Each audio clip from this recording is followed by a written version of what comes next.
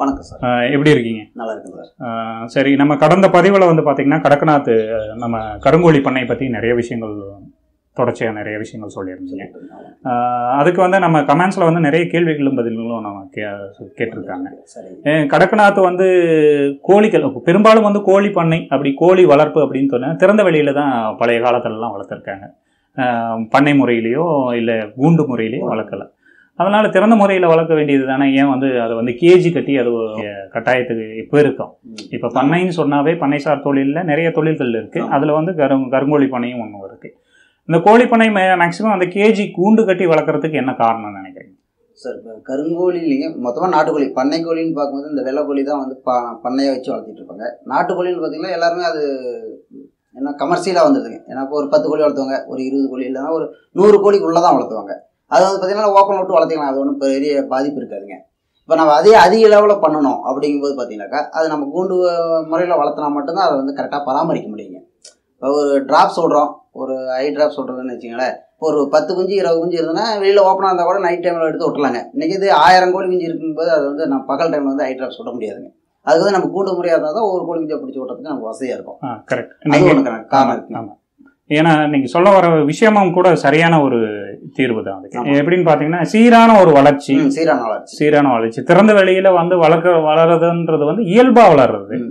அது வந்து நம்ம இன்னும் குறிப்பா சொல்ல போனா ஒரு ஒரு குடும்பம் இருக்கு. குடும்பத்திற்காக ஒரு வளர்த்தக்கூடிய கோழிகளாக மட்டும்தான் பார்க்க முடியும். நம்ம ஒரு வியாபாரம் இது சார்ந்த ஒரு வியாபாரம் செய்யக்குள்ள நம்ம வந்து சீரான வளர்ச்சி இருந்தால் மட்டும் சீரான நமக்கு அது சரியான ஒரு லாபத்தை பண்ண முடியும். பண்ண முடியும். சரியானது. இதனா இது ஒரு நபர் வந்து கேட்டிருக்காரு. ஏன் வந்து கோழிகளை வந்து சுதந்திரமா விட வேண்டியது தானே ம். நீங்க வந்து ஏன் வந்து கூண்டுக்குள்ள அடைச்சு வச்சிருக்கீங்க? அடைச்சு வச்சு வளர்க்க வேண்டிய அவசியம் என்ன. அப்படின்னு சொல்லி. கேட்டிருந்தாரு. அது சரியான. கரெக்டான கேள்விதாங்க. ஆனா இருந்தாலும் என்னன்னா நம்ம கம்மியான கோழி வளர்த்தும் போது ஓப்பனில் வளர்த்திக்கலாம். அது ஒன்றும் பெருசா இருக்கு அது ஒரு முட்டை எடுத்தீங்கன்னா ஒரு ரெண்டு இடத்துல மூணு இடத்துல முட்டையிடும் முட்டை எடுத்துக்கலாம். இதே நம்ம ஆயிரம் ரெண்டாயிரம் கோழி வளர்த்தும் போது நினைச்சுன்னா அந்த ஆயிரம் ரெண்டாயிரம் கோழி முட்டை எங்கே இடுதுன்னு சொல்ல சொல்ல முடியாது. முட்டையை நம்மளால சேகரிக்க முடியாது. இன்னைக்கு காக்கா அந்த முட்டையை வந்து ஒரு காக்கா வேஸ்ட் பண்ணும். ஒரு பத்து முட்டை போயிட்டாலும் அது நமக்கு லாபத்தை குறையும்.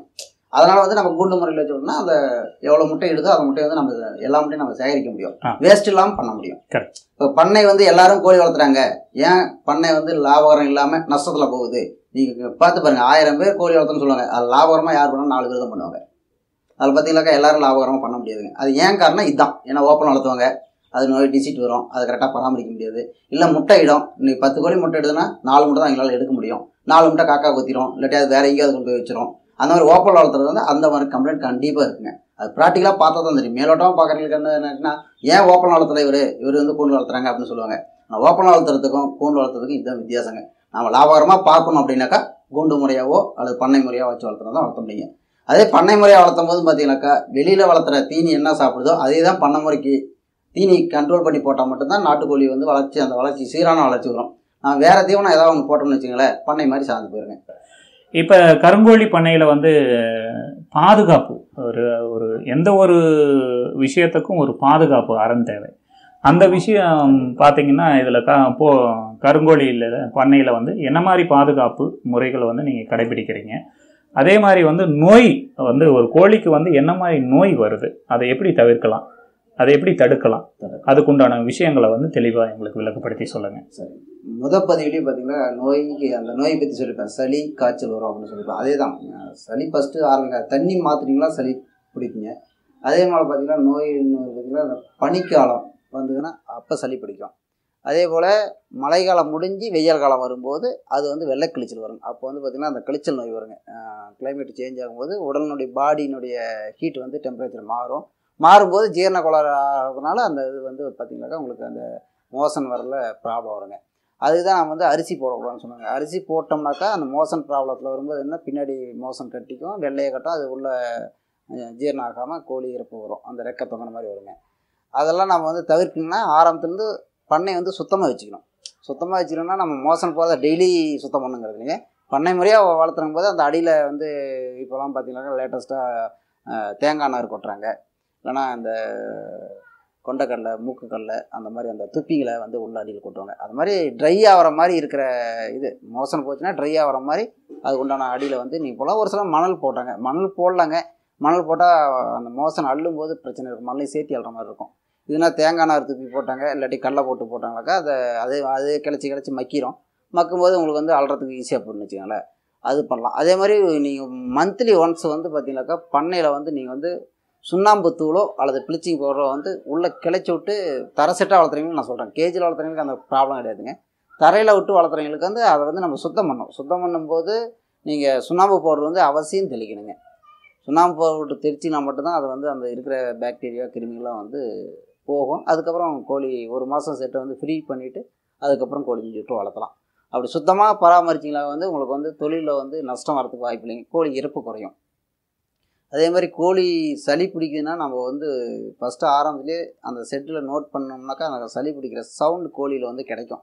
அது இன்னைக்கு சவுண்டு கேட்குது அப்படின்னு சொல்லிட்டு நீங்கள் இன்னும் ரெண்டு நாள் கழித்து மருந்து விடலாம்னு நினச்சிங்களாக்கா கண்டிப்பாக எல்லா கோழிக்கும் பரவிடும் ஒரு கோழி ரெண்டு கோழி அது மாதிரி சிம்டம்ஸ் இருக்குதுனாவே அதை தனிமைப்படுத்தி அதுக்குண்டான ட்ராப்ஸ் மருந்து கேட்டு கால்நடை துறையிலையோ இல்லை வெட்டினரி மெடிக்கல் ஷாப்லேயே வந்து நீங்கள் வந்து அதுக்கு என்ன மருந்துன்னு கேட்டு இல்லாட்டி உங்ககிட்ட யாராவது கோழிக்கு யார்கிட்ட வாங்கினீங்களோ அவங்ககிட்ட அனுபவம் இருந்தாக்கா அவங்ககிட்ட இந்த கோ இப்படி இருக்குது அது என்ன கோழி மருந்து கொடுக்கலாம் அப்படின்னு கேட்டு அதை வந்து நீங்கள் வந்து அதை கரெக்டாக பராமரிச்சிங்களா உங்களுக்கு வந்து நல்லா கெயினாக கிடைக்கும். லாஸ் ஆகாத கொண்டு வரலாம். அதே நீங்கள் குஞ்சு தேர்வு செய்யும் போதும் பார்த்தீங்கன்னா பேரண்ட் நல்ல பேரண்டாக இருக்கான்னு பார்த்து பண்ணிங்கன்னா பேரண்டில் ஏதாவது ஒரு டிசீட் இருந்ததுன்னா அது அடுத்த ஜெனரேஷன் குஞ்சுக்கும் வரும். அடுத்த கோழி அது அதை தான் நீங்கள் மெயினாக வந்து பார்த்து வாங்கணும்னு வச்சுக்கோங்களேன். அதை நீங்கள் யாருமே அதை வந்து கரெக்டாக ஃபாலோ பண்ணுறதில்ல எங்கேயோ கொடுக்குறாங்க யாரோ கொடுக்குறாங்க அப்படின்னு சொல்லி வாங்கிடுறீங்க. அதில் தான் வந்து எல்லாருமே பண்ணையாளர் வந்து லாஸ் ஆகிறதுக்கு காரணம்னு வச்சுக்கோங்களேன். தெளிவாக கோழி குஞ்சு வாங்கும்போது ஒரு அலைன்ஸ் பண்ணணும். ஃபஸ்ட்டு யார் யார்கிட்ட இருக்குன்னு ஃபஸ்ட்டு அலைன்ஸ் பண்ணிட்டு அவங்க யார் கரெக்டாக வச்சுருக்காங்க அப்படின்னு பார்த்து வாங்கணும். அது பார்த்தீங்கன்னாக்கா சிக்ஸு வாங்கினதுலேருந்து ஒரு மாதத்துக்கு வந்து எந்த ஒரு முப்பது நாளைக்கு எந்த ஒரு டிசிட் வராதுங்க. அது வந்து நார்மலாக நீங்கள் தண்ணி அந்த சுடு தண்ணி வச்சு பச்சை தண்ணி மாற்றும் போது தான் சரி பிடிக்கும். அது நார்மல் வராதுங்க. அந்த நாற்பது நாளைக்கு மேலே போயிட்டிங்கனாக்கா கிளைமேட் சேஞ்ச் ஆகும்போது அந்த சளி காய்ச்சல் வருங்க. அதுக்கடுத்து பார்த்தீங்கன்னா ரத்த கழிச்சல் அந்த சளி காய்ச்சல் வரும்போதே ரத்த கழிச்சல் வரும் அல்லது தான் வெள்ளை கழிச்சல் வருங்க. அது வந்து பார்த்தீங்கன்னாக்கா உங்களுக்கு நாற்பத்தஞ்சு நாளைக்கு மேலே தான் தெரியும். நாற்பத்தஞ்சு நாளைக்கு மேலே போயிட்டாக்கா அந்த வெள்ளை கழிச்சல் வருங்க. அதே மாதிரி வெள்ளை வந்ததுன்னா என்னாச்சுன்னா அம்மை நோய் ஒன்று வருங்க. அது எல்லா கோழிக்கும் எல்லா சீசன்லையும் வராதுங்க. Summer time May June July அந்த மூணு மாதம் பார்த்திங்கன்னா வெயில் அதிகமாக அடிக்கும். நம்ம சாதாரண பார்த்திங்கன்னா நமக்கே வந்து அம்மை நோய் வரும். அந்த சீசனில் பார்த்திங்கன்னா ஹீட் அதிகமாகிட்டாக்கா நம்ம உடலே அம்மை நோய் அது மாதிரி தான் கோழிகளுக்கும் வருங்க. அது எந்த கோழியாக இருந்தாலும் சரி நாட்டுக்கோழியாக இருந்தாலும் சரி அசில் கிராஸாக இருந்தாலும் சரி அசிலாக இருந்தாலும் சரி கிரிராஜா வனராஜா கடக்நாத் எல்லா கோழிக்கும் அது வந்து பறவை இனத்துக்கு எல்லாத்துக்கும் வந்து அந்த அம்மை நோய்ங்கிறது வருங்க. அதுக்கு வந்து பவுல் பாக்ஸ் அப்படிங்கிறத தடுப்பூசி போடுவாங்க. அது வந்து நாற்பத்தி ரெண்டு நாளில் போடுவாங்க இல்லாட்டி அறுபத்தி ரெண்டு அறுபத்தி ஏழு நாளில் போடுவாங்க. அது நமக்கு கோழி சைஸ் வளர்றதை பொறுத்து அது போடலாம். அது தடுப்பூசி போடுறாங்க அந்த தடுப்பூசி போட்டால் வராது. இருந்தாலும் தடுப்பூசி போட்டாலுமே ஒரு சில கிளைமேட்டு சேஞ்சஸுக்கு வந்து அந்த நோய் வருங்க. அது வந்துன்னா நம்ம அந்த கோழி வந்து தனிமைப்படுத்தி அப்புறப்படுத்திடணும். அம்மை நோய் வந்து வருங்க. அந்த வெள்ளைக்கழிச்சலுக்கு பார்த்தீங்கன்னா நீங்கள் என்ன ராணி கெட்டுன்னு சொல்லுவாங்க அதை. ராணி கெட்டு வந்துனாக்கா அதுக்கு வந்து லசோட்டா ஓடலாம் அது மருந்து நிறைய இருக்குது அதை வந்து ரெண்டு மூணு மருந்து இருக்குது அது ஒவ்வொரு டாக்டர் வந்து ஒவ்வொன்றா வந்து சொல்லுவாங்க. இந்த மருந்து கொடுங்க அந்த கொடுங்க. அது வந்து அவங்கவுங்க டாக்டரை பொறுத்து பண்ணுவாங்க. பண்ணையாளரை பொறுத்து அதே மாதிரி தான் ஃபஸ்ட்டு என்ன டோஸ் கொடுத்துருக்காங்க? அதுக்கு என்ன டோஸ் அடுத்து கிடைக்கும்? அதுக்கு சேரும் அப்படிங்கிறத பார்த்து தான் பண்ணுவாங்க அதுக்குன்னு எல்லா மருந்தும் கொடுக்குறாங்கன்னு சொல்லி கடையில் கிடைத்தாங்கன்னு சொல்லி எல்லா மருந்தையும் வாங்கிட்டு ஒரே இதாக கொடுத்தீங்கன்னா எந்த எந்த மருந்து எதுக்குமே கேட்காதுங்க. நாமளே இப்போ பொதுவாக இருக்கும். நம்ம காய்ச்சல் வந்தால் பாராசிட்டமால் போடுறோம். பாராசிட்டமில் நிறைய கம்பெனி இருக்குது அதில் என்னென்ன கம்பெனி ஒருத்தர் ஒரு சிலர் ஒரு டாக்டர் வந்து ஒரு கம்பெனி சொல்லுவாங்க இன்னொரு டாக்டர் ஒரு கம்பெனி அதே மாதிரி தான் கோழிக்கும் இருக்குது கோழிலையும் நிறைய கம்பெனி இருக்குது ஒவ்வொரு கம்பெனி என்ன பண்ணுறாங்கன்னா அந்த டோஸ் வச்சு தான் கரெக்டாக இருக்கும். அதுக்கு டோஸ் அதிகமாக போடுச்சுன்னா கோழி ப்ராப்ளம் வருங்க. கரெக்டாக மருந்து கரெக்டாக கொடுக்கணுங்க. அதே மாதிரி பராமரிப்பு வந்து கரெக்டாக பண்ணணுங்க. பராமரிப்பு பண்ணிங்களாவே உங்களுக்கு வந்து நோய் வராதுங்க மெயினாக அதே மாதிரி நீங்கள் சளி பிடிச்சின்னா அந்த துளசி கொடுக்கலாம். மஞ்சள் தண்ணி தோ மஞ்சள் தண்ணி தரணும்னு சொல்லிட்டு ஒரு லிட்டர் தண்ணிக்கு ஒரு ஸ்பூன் மஞ்சள் தூள் போட்டால் கேட்காதுங்க. ஒரு லிட்டர் தண்ணிக்கு பார்த்தீங்கன்னாக்கா அஞ்சு ஸ்பூன் மஞ்சள் போடணும் கண்டிப்பாக நம்ம டேபிள் ஸ்பூனாக இருந்துச்சுனாக்கா அஞ்சு ஸ்பூனாவது போடணும் ஒரு ஒரு லிட்டருக்கு. நான் மஞ்சள் தண்ணி வைக்கிறேன் அப்படிங்கிறதுக்கோசரம் ஒரு லிட்டர் தண்ணி எடுத்துக்கோங்க. ஒரு ஸ்பூன் லேசாக கலந்துட்டு மஞ்சள் தண்ணி மட்டும் மஞ்சளாக தான் கலர் இருக்கும். ஆனால் அது கோழிக்கு வைப்பாங்க அது குடிச்சா கேட்காதுங்க. அதை வே எவ்வளோ ஒரு லிட்டருக்கு எவ்வளோ கலக்கணும் அப்படிங்கிற அந்த வேரியேஷன் வச்சுக்கிறதுனால தான் உங்களுக்கு வந்து நோய் தடுப்பு வந்து நல்லா இருக்குங்க. நாட்டுக்கோழி. அது எப்படின்னா நாட்டுக்கோழி தான் பண்ணக்கோழி. பண்ணை அதிகமாக ஒரு ஆயிரம் கோழி வளர்த்தனா அது பண்ணையாக தான் வச்சு வளர்த்த முடியுங்க நாட்டுக்கோழிங்கிறது ஒரு பத்து கோழி இருபது கோழி வீட்டில் வளர்த்தவங்க அது வந்து நாட்டுக்கோழின்னு சொல்லுவாங்க. பண்ணக்கோழின்னு பார்க்கும்போது பார்த்தீங்கன்னா நிறைய வளர்த்தும் போது பண்ணைக்கோழின்னு சொல்லுவாங்க. ஆனால் பண்ணக்கோழிக்கு தீவன முறை தான் மெயின் தீவனம் கரெக்டாக கொடுத்தோம்னா இப்போ அதிகமாக வச்சு வளர்த்துறாங்க அதேமாதிரி இந்த நம்ம ஏன் லாஸ் ஆகுது அப்படின்னு பார்த்தீங்கன்னாக்கா நீங்கள் ஒரு ஒரு ஆயிரம் கோழி வளர்த்துவீங்க. தீனி வாங்கி போட்டு அதுக்கு ஃபுல்லாக செலவு பண்ணி வச்சுருப்பீங்க. கடைசியாக பார்த்தீங்கன்னா அது வந்து மார்க்கெட்டில் இறக்கிறோம். ரேட்டு பண்ணக்கோழி கோழி இது வந்து நூற்றி இருபது ரூபாய் தான் எடுக்க முடியும். அது செலவு பண்ணியிருப்பீங்க கிட்டத்தட்ட ஒரு கோழி வந்து முந்நூறுரூவா செலவு பண்ணியிருப்பீங்க அவங்க கேட்கறது பார்த்தீங்கன்னா கடைசி நூற்றி இருபது ரூபாய் கேட்குறேன்னு சொல்லுவாங்க. அப்படி பார்த்தீங்கன்னா உங்களுக்கு வந்து லாஸ் தான் வரும். அப்படி விற்று அதனால் விற்க முடியல. நம்ம ஒட்டுக்காக வாங்கி அதிகமாக வளர்த்துட்டோம். விற்க முடியல சொல்லி கம்மி ரேட்டு கொடுத்து தான் பண்ணை வந்து லாஸ் பண்ணி பண்ண தொழிலாளர்கள் வந்து எல்லாருமே வந்து என்னால் லாபம் பண்ண முடியல அப்படின்னு அவங்க வந்து கொஞ்சம் எதார்த்தமாக போயிடுறாங்க அது கரெக்டாக பண்ணிங்களா கரெக்டாக பண்ணி நம்ம பண்ணையை வந்து டெவலப் பண்ணிடலாம். லாபகரமாக பண்ணாங்க பார்த்தீங்கன்னா ஒரு மார்ஜின்னு பார்த்தீங்கன்னா நீங்கள் ஒரு ஆயிரம் கோழி வளர்த்துறீங்க. ஆயிரம் கோழி வளர்த்துறதுக்கு உங்களுக்கு ஒன்றே ஒன்றரை லட்சம் ஒன்றரை லட்சம் செலவாகுதுனாக்கா உங்களுக்கு லாபம் அதை விற்று பார்க்கும்போது உங்களுக்கு வந்து ஒரு தேர்ட்டி பர்சன்ட் லாபம் கிடைக்குங்க. தேர்ட்டி பர்சன்ட் லாபம் வச்சு நீங்கள் விற்றீங்களா ஓகே அதுக்காக ரேட் இறங்கி வச்சுன்னு சொல்லி தேர்ட்டி பர்சன்ட் லாபம் இல்லாமல் நீங்கள் தேர்ட்டி பர்சன்ட் மைனஸில் கொடுத்தீங்களாக்கா உங்களுக்கு லாஸ் நீங்கள் வந்து அந்த தேர்ட்டி பர்சன்ட் லாபத்தில் தான் விற்க முடியும். அப்படி விற்றா மட்டும் தான் நீ கோழி பராமரிப்பு கரெக்டாக பண்ணால் மட்டும் தான் அந்த ரேட்டு நம்மளால் விற்க முடியுங்க. அதான் தொழிலில் வந்து லாப நஷ்டங்கிறது அந்த மார்ஜின் வச்சு பண்ணணும். அதே போல் தீவனம் கரெக்டாக வச்சு பண்ணணுங்க அப்போ தான் வந்து ஒரு பண்ணையை வந்து வெற்றிகரமாக கொண்டு போக முடியுங்க. அருமையாக உங்களுடைய கருத்துக்களையும் விளக்கங்களையும் அருமையாக தந்திருந்தீங்க நம்மளுடைய நேயர்களுக்காக. நிறைய கேள்விகளை அதுக்குண்டான பதில்கள் எங்களுக்காக நேரங்களை ஒதுக்கி நிறைய பதில்களை வந்து நீங்கள் தந்திருந்தீங்க. அடுத்தடுத்த பதிவுகளில் வந்து உங்களுடைய அஹ், பண்ணையினுடைய வளர்ச்சி அதனுடைய பாதுகாப்பு என்னென்ன இன்னும் என்னென்ன விஷயங்கள் வந்து பண்ணைகளை வந்து மேம்படுத்தலாம் அப்படின்னு சொல்லி உங்களுடைய ஐடியாக்களை வந்து நீங்கள் கொடுக்கலாம்.